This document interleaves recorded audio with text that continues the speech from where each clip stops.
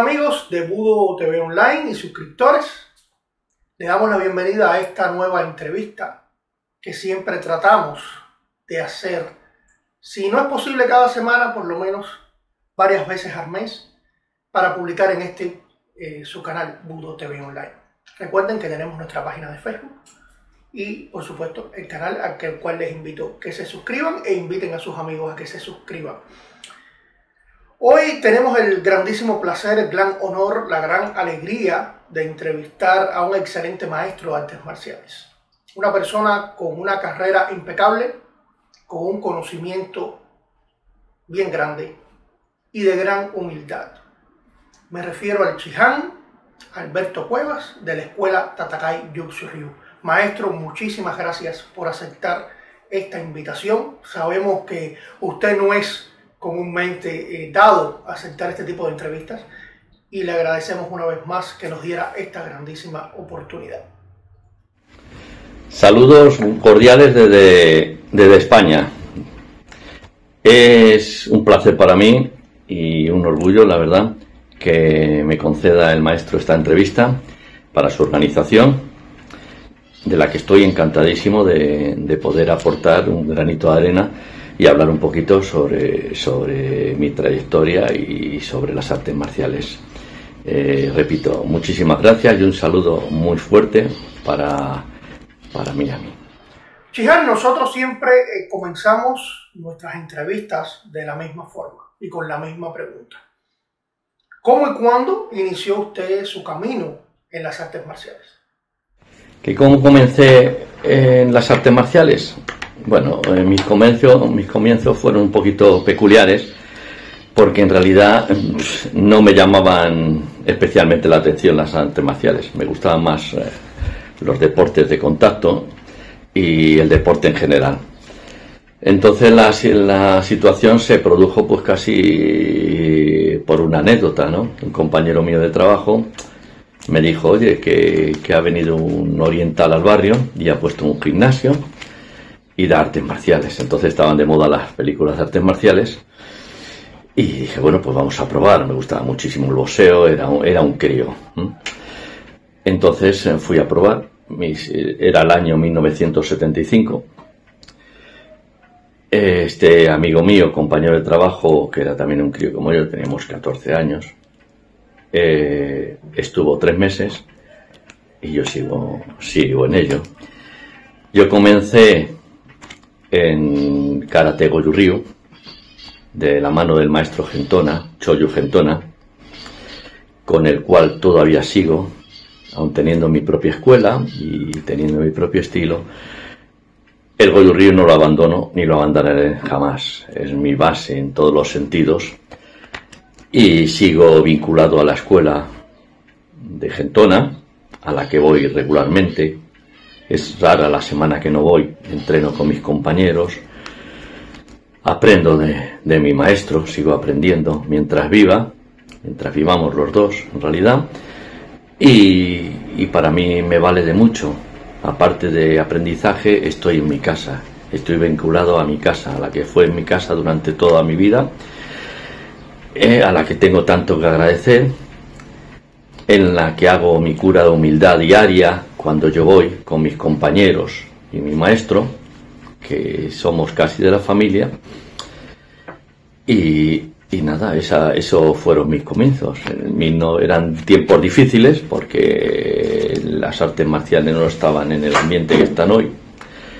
Estaban de una forma bien miradas, de otras eh, tampoco había una, una predisposición a ella pero tenían un encanto especial que no lo, que no lo tienen ahora, eso está claro. También pasé mis épocas de competición, de kumite, de katas, pero sobre todo en kumite competí bastante.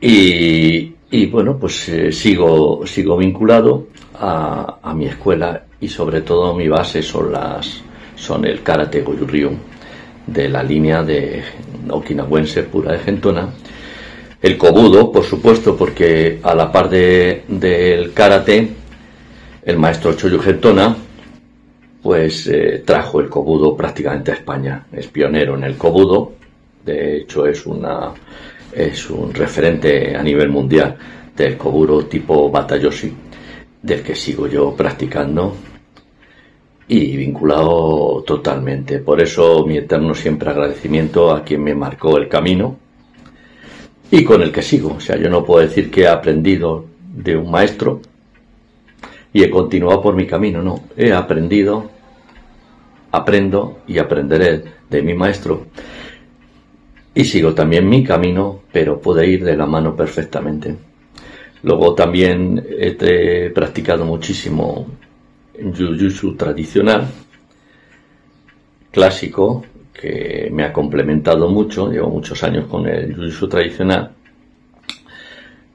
y, el Aki Jiu-Jitsu que me, encanta también. Muy interesante esa carrera, ¿no? ese camino. Eh, quisiera fundamentalmente, para que las personas que, puedan tener dudas al respecto, eh, ¿qué es el Tatakai Jutsu Ryu? ¿Qué es algo que lo caracterice? ¿O qué es en sí? ¿Es una escuela? ¿Es una institución cultural? Ambas. Por favor, explíquenos acerca de eso. El Tatakayu Ryu, del cual soy fundador, no es un arte marcial en sí. No creo en las, crea, vaga la redundancia, en las creaciones absolutas.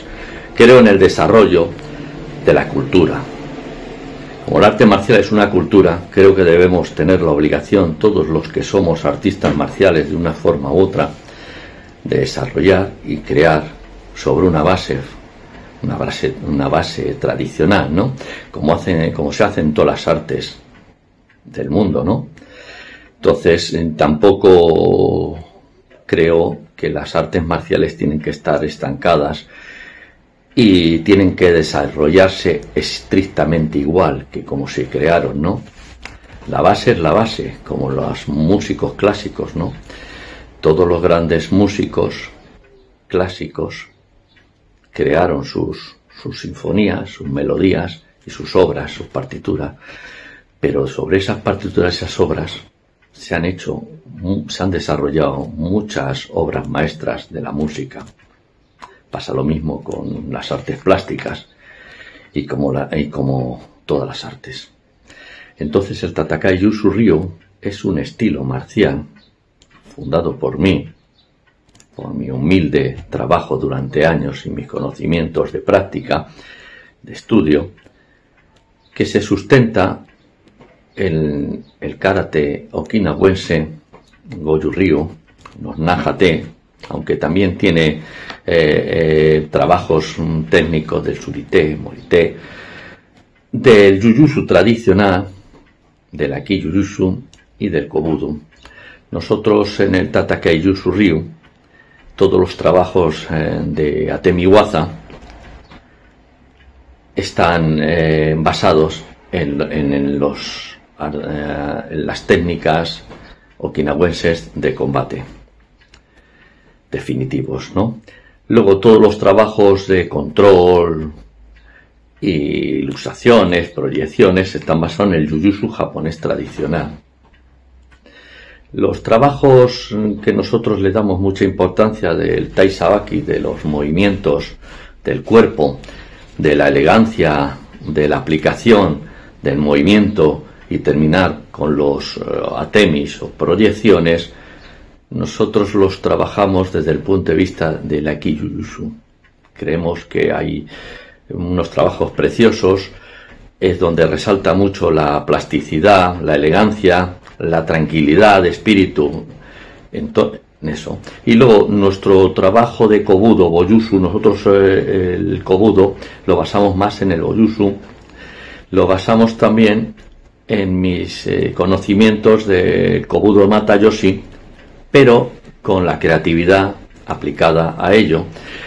Y, nosotros las armas que nosotros trabajamos son en, el Boyusu trabajamos el Bo tradicional, la medida tradicional del Bo, el Yo, el Jambo y luego un palo pequeñito de 30 centímetros que yo lo denominé Bo, que significa palo pequeño, o pequeño palo, que son los trabajos de agarre, de atemi, peculiares, lo, trabajamos a dos, Ni, Ni Chiseibo, con un programa creado por mí específico.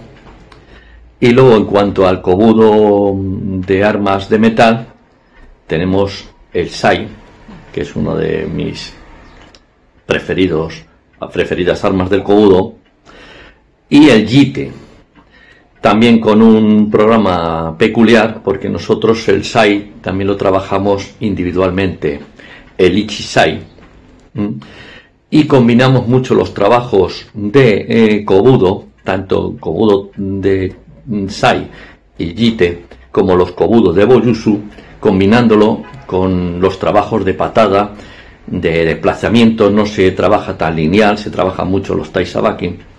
Entonces esa es la, peculiaridad nuestra. En, en nuestro Tatakai Yusu Ryu, que el significado Tatakai es luchar, Yusu ya sabemos que es técnica o, arte, y Ryu es escuela, nosotros es, es el arte de la lucha, la escuela del arte de luchar, ¿no? Trabajamos mucho la mano abierta.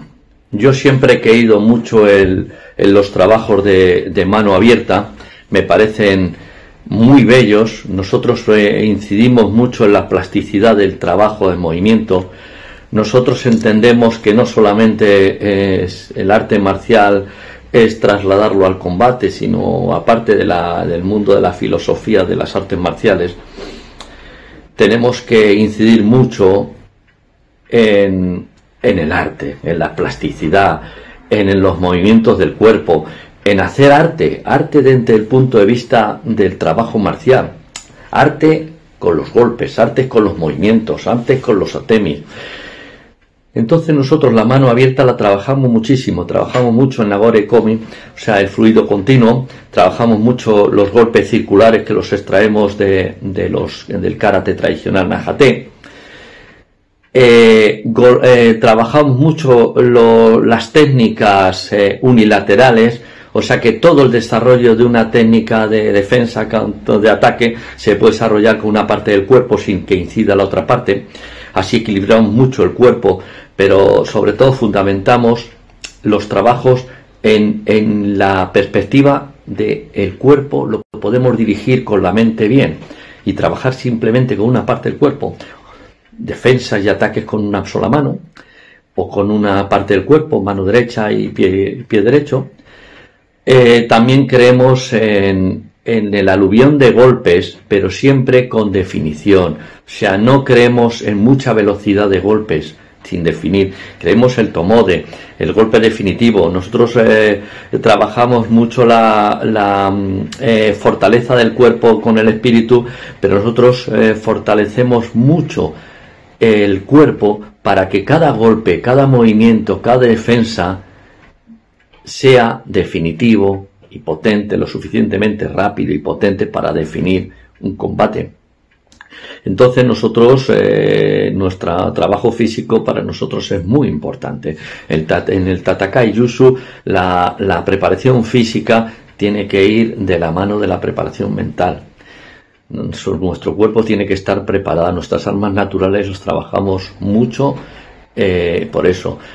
Y nosotros los trabajos no hacemos unos trabajos rudos, sino unos trabajos que intentamos que sean muy plásticos, como he dicho antes. Enfatizamos mucho en el tema de la eh, plasticidad, de la armonía, del arte, sin dejar aparte la efectividad y la explosividad de las técnicas. Tenemos un programa de catas eh, creativas creadas por nosotros, en este caso yo que soy el creador, pero siempre estudiadas desde, el punto de vista de las técnicas básicas. Eh, soy muy estricto en la calidad técnica, muy estricto en la calidad técnica. Creo que hay que este, aprender despacio y trabajar muy despacio para que esto se perpetúe en el tiempo y para aprender con solidez todas las técnicas. Por eso nuestras catas, eh, hay tres tipos de catas tenemos el kata, el kata estético, el kata plástico, armónico, artístico, que, se realizan en espacios, se realizan con unos movimientos eh, muy armónicos y con mucha la plasticidad, elegancia, pero siempre con, con un sentido del bunkai estricto. Todas las, todos los katas tienen una eh, aplicación coherente y basado en el combate, aunque se realicen de una forma. Esos katas, los katas más plásticos y más eh, artísticos, son prácticamente de, de exhibición, pero sobre todo de reafirmación del artista marcial. Luego tenemos unos katas Quijón, que son explosivos, son fuertes, duros, con posturas muy arraigadas, muy potentes, que ahí es donde nosotros enfatizamos la calidad física del Tatakeidoka. Ahí tiene que definirse el Tatakeidoka como, como un luchador. Entonces se, se, se, realizan con bastante contundencia, rapidez y quimie.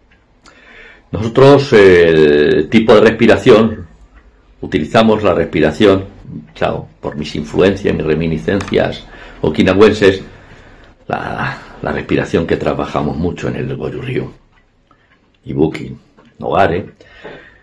Entonces, esa en muchos de los katas la tenemos muy presente, igual que los, en los quijones. Nuestro Tatakai Yusu Ryu es un estilo marcial que se puede definir como un estilo de karate Yusu. ¿Mm? Creo que debíamos los artistas marciales, sin abandonar nuestras bases, y yo creo que no debíamos de vincularlo de, nuestro, de nuestra madre marcial, cada uno, debíamos dentro de unos trabajos serios y unos trabajos honrados, honestos y con, un, con una solvencia técnica, crear y desarrollar no perjudica a los artes marciales, sino que las enriquece. No se engaña a nadie, al contrario, se crean artistas también, porque eso es una es una corriente que no que es imparable, es como poner puertas al campo. Al, al arte se le pueden poner puertas, se le puede obligar a un artista, se le puede obligar a un artista a cohibirse o impedir que un artista desarrolle su mente y cree. El arte marcial es lo mismo no estamos hablando de defensa personal, la defensa personal es otra cosa. Todas las artes marciales son, se crearon para la defensa personal, el combate. Los tiempos han cambiado, pero es muy bonito decir que las artes marciales creadas para el combate y la defensa personal tienen una tendencia al arte y es lo que hay que desarrollar y es lo que, lo que nosotros en la escuela pretendemos. Sensei, usted pertenece a una de las organizaciones o la organización marcial más prestigiosa eh, de Japón, que es la Dai Nippon Butokukai. Eh, ¿Hace cuánto tiempo usted es miembro de esta organización y qué representa para usted ser miembro eh, de la verdadera organización élite de los artistas marciales a nivel mundial? ¿Y qué tengo que decir sobre la DNBK? Pues la Dai Nippon Butokai sabemos que es la organización de más prestigio y quizá la más, vamos, más prestigiosa y más antigua del mundo y gran referencia a las artes marciales japonesas tradicionales. Pues, eh, pues es un gran honor. Es un orgullo, porque hay que decirlo, un gran honor. Opiniones hay para todos. Hay quien, puede opinar de una forma, opinar de otra. Yo llevo seis años perteneciendo a la Dai Nippon Butokai. Soy miembro de la Dai Nippon Butokai y yo estoy titulado por la Dai Nippon Butokai. Titulado allí, en Kioto. Yo he ido a los certámenes de la Dai Nippon Butokai, Europa y a Kioto, que es donde está la central, donde está el Butokuden, que el Butokuden es el templo de las artes marciales. Se creó en 1856, el Templo de las Artes Marciales, donde se registraron todas las artes marciales japonesas, donde también se registró, se registró el, el Goju Ryu, eh, se registraron el Jutsu, el Kyujutsu, el Iado, el Kenjutsu, el Judo, todos los artes marciales, Kyudo, artes marciales tradicionales se registraron. Y tuve el honor que me lo propusieron, me aceptaron como miembro de la DAI Nippon Butokai, a la cual tuve que mandar mi currículum, pero no solo mandar mi currículum. Mi bautizo fue en Kioto, y en Kioto, en el Butokuden, tuve que hacer la demostración delante de todos los miembros del Butokuden. Tuve la gran suerte de la princesa que lo presidió, imperial. Ese año era, era el cumpleaños y tal, se hizo en el 76, de, perdón, en el 2016 un, un certamen internacional muy importante porque se celebraban varias cosas muy importantes para Japón. Y yo tuve que hacer una demostración de karatedo y una demostración de Jujutsu, porque yo estoy titulado por las dos artes marciales en la Dai Nippon de Mutokai. Dentro de mi humilde trayectoria y humilde conocimientos, tuve que, que hacer las demostraciones, que es donde se evalúan, sobre todo a, niveles de, altos grados. Luego también lo he tenido que hacer en Europa, en Lyon, donde también lo haré en el 2020, que es un año muy importante para las artes marciales porque encima coincide con las Olimpiadas.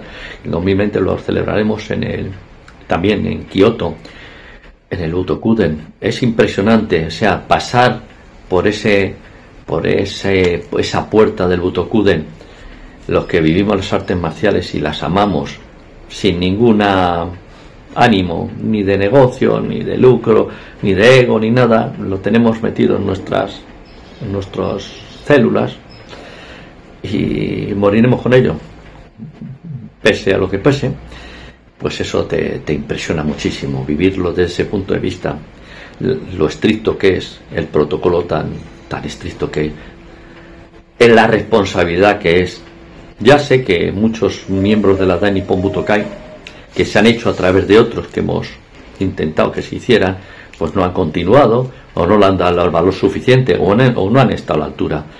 Pero la Daini Pombutokai hoy por hoy es la organización más prestigiosa, más estricta de artes marciales eh, japonesas que, tenemos en la actualidad, que está subvencionada por el gobierno japonés entra casi dentro del estado político de Japón, muy importante, y eso hay que vivirlo. Hay que vivirlo en todas sus eh, manifestaciones, concentraciones, convenciones, pero sobre todo en los, la convención internacional que celebran cada cuatro años en su sede que, que es Kioto. Es muy importante y yo me siento muy orgulloso, estoy muy contento con mis certificaciones que están avaladas con mi trabajo y, seguiré mientras pueda y me lo permitan de estar como miembro en la Dai Nippon Butokai. Shihan, ¿pudiera decirnos usted a modo de información para cualquier persona que esté interesado, a lo mejor si está de visita en España, quisiera visitar su escuela, o personas que viven en España como tal, que quisieran tal vez eh, pertenecer, ¿dónde está ubicado su dojo? El dojo de, de Tatakayu Surrío está ubicado en España, en la Comunidad de Madrid y en la localidad de San Fernando de Henares, en donde llevamos, eh, va a ser 11 años. Eh, mi escuela la escuela Tatakai Yusu Ryu, es una escuela a la antigua usanza, ya no por el sistema de enseñanza, que el sistema de enseñanza, el sistema de protocolo, de etiqueta que llevamos, es la clásica, tradicional, japonesa, con algunos matices lógicamente introducidos, más europeizados y más actualizados con los años que vivimos, porque no se puede enseñar de la misma forma que se enseñaba hace años ni tratar al alumno de la misma forma. Todo, todo ha cambiado y nos tenemos que adaptar a, a los cambios. Pero siempre con una premisa.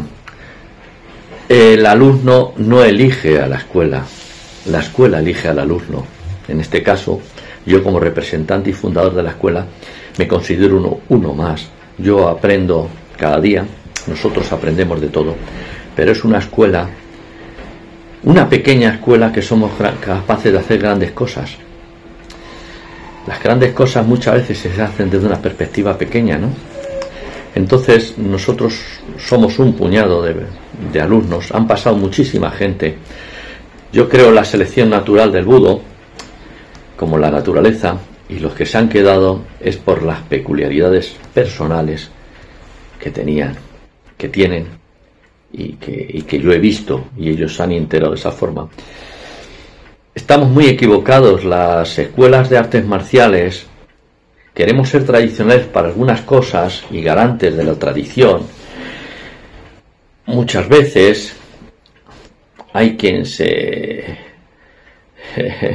tiene esa esa premisa de decir, no, es que las, la tradición hay que conservarlo, nosotros tenemos que depurar y tal, pero para algunas cosas. Pues recordemos que los maestros, no grandes maestros, no, es que no me gusta la palabra gran maestro, me gusta ni buen maestro, me gusta la palabra maestro bueno, me parece que es más humana, porque lo, que antecede, antecede es la buena persona. Y es lo que tenemos que intentar todos los que tenemos esa, esa suerte de ejercer la docencia de una forma altruista, sin ningún ánimo de lucro. Es más bonito que te recuerden como diciendo qué buena persona era ese maestro que qué gran maestro. Gran maestro puede ser de muchas formas, ¿no?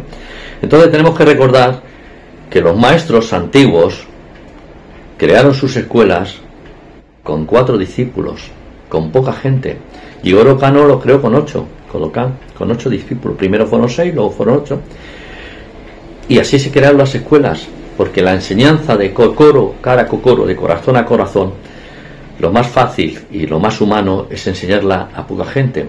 Las técnicas, el germen de la enseñanza, el germen de las escuelas, lo poco que sabes y lo que tienes que desarrollar, cuanto menos gente y más cercana mejor. Luego ya la historia y el tiempo se encargará de que guste, no guste, que se quede en un reducto. Es como el, el, artista que pinta y, es le encanta pintar y dice, a ver, quién me, a ver quién me va a impedir a mí que pinte lo que a mí me dé la gana. Y pinte en mi casa y pinte para tres o cuatro personas que son mis alumnos o los que me van a comprar el cuadro.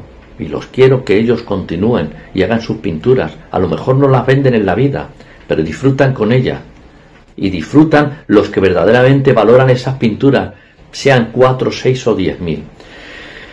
Entonces, lo que digo, no tenemos, mm, yo, yo creé hace años una asociación que está legalmente constituida por el Ministerio Interior de España, que se llama TACAME, Tatacay Asociación Cultural de Artes Marciales Española, y es una asociación sin ánimo de lucro, que solamente somos socios, los alumnos y algún socio honorífico.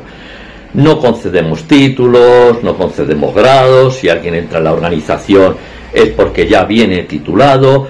Las titulaciones que concede la escuela Tatakai Yusu Ryu son titulaciones únicamente de la escuela para régimen interior y para nuestro crecimiento personal y la de todo el mundo. Si se quiere ascender en titulaciones mm, esto cualificadas. Nosotros tenemos nuestro contacto con organizaciones de prestigio que ahí pueden eh, se pueden presentar mediante exámenes y demás. La organización Takame no admite nadie que no sea un hombre o una mujer de budo. Somos una organización cultural y quien entra no va a entrar buscando un rédito de prestigio, ni de titulaciones, ni de, ni de competir. Nosotros no competimos.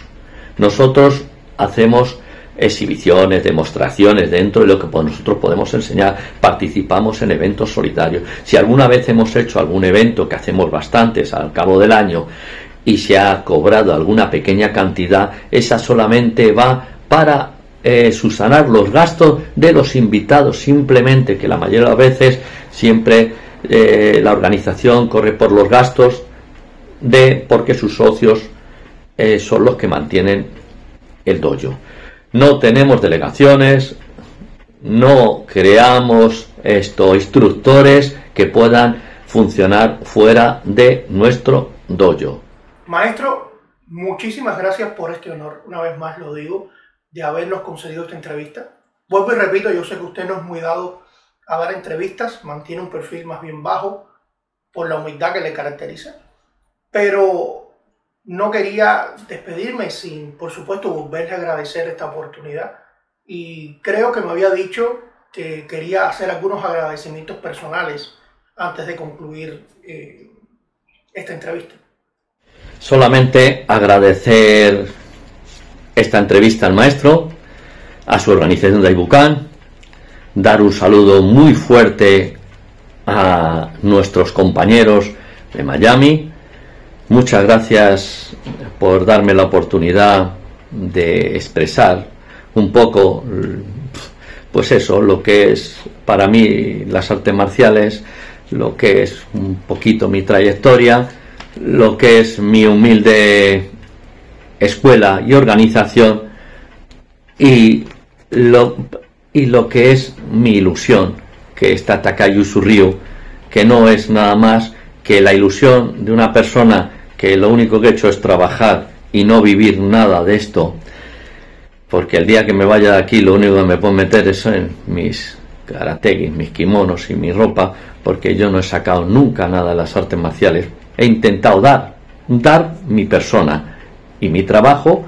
No sé si valdrá para algo, pero con que un estudiante sea feliz y se lo vea en la cara y estén a gusto conmigo, suficiente, respetando siempre todas las opciones marciales, respetando a los puristas que ven las artes marciales de otro punto de vista y incluso ellos no respetan a otros, pero eso cada uno es cada uno, sus motivos tendrán. Yo me parece que toda la persona que humildemente y con honestidad y honradez y no quiere hacer el mal se viste de artista marcial y trabaja, intenta ayudar a los demás, intenta aprender de los demás, intenta pasarlo y disfrutar con algo que hace y se apasiona, es digno de respeto. Creo en las artes marciales eh, competitivas, creo en las artes marciales filosóficas, creo en las artes marciales de cuerpo para adentro y de cuerpo para afuera, creo en el budoka y en la persona honesta de la, de la ideología marcial que sea. Un abrazo muy fuerte, muchísimas gracias y aquí estamos, con alma de budo. No quiero olvidarme de mandarles un abrazo muy fuerte y darles las gracias por por su amistad y apoyo a tantos y tantos amigos del Budo que tengo la suerte de tener. Que no se me olvide eh, dar una mención de agradecimiento al maestro y buen amigo mío, Pedro Rodríguez de Abauza, por sus enseñanzas, su amistad, por aprender de él muchas cosas también, y del buen y auténtico Yusu, por ser un gran compañero de viaje, la verdad. Hemos compartido viajes de puro budo. También a mis compañeros de Goyurriu, a mi fiel y abnegada Senpai Elvira Laguna, que sin su apoyo muchas cosas no las podría haber conseguido, y a mis alumnos y alumnas de Tatakai Yusu Un abrazo y muchas gracias. Domo arigato. Yo creo que el agradecimiento siempre es importante. Yo creo que eso muestra mucho más el nivel de humildad y de consideración que usted tiene para con sus amigos y con sus alumnos, ¿no? Una vez más, muchísimas gracias, Sensei, por esta oportunidad. A todos ustedes les invitamos, como siempre, a que nos sigan en todas estas entrevistas, las Budo Talks, que son las charlas de Budo, eventos que podamos eh, cubrir y otros formatos, ideas que vamos a ir incorporando a este nuestro canal Budo TV Online. No se olviden de suscribirse, invitar a sus amigos que se suscriban y apoyar este magnífico proyecto por el honor y la promoción de las artes marciales, siempre desde el punto de vista de respeto y de la humildad. Muchos saludos para todos, bendiciones, gallo.